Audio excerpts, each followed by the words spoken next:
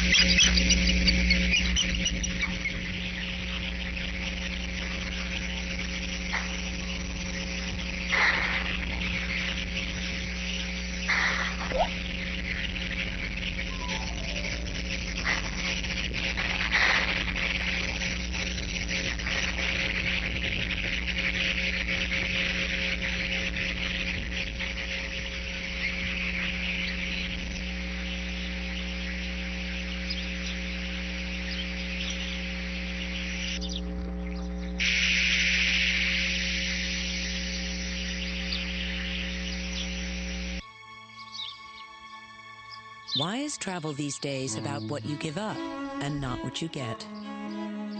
Like electricity for gadget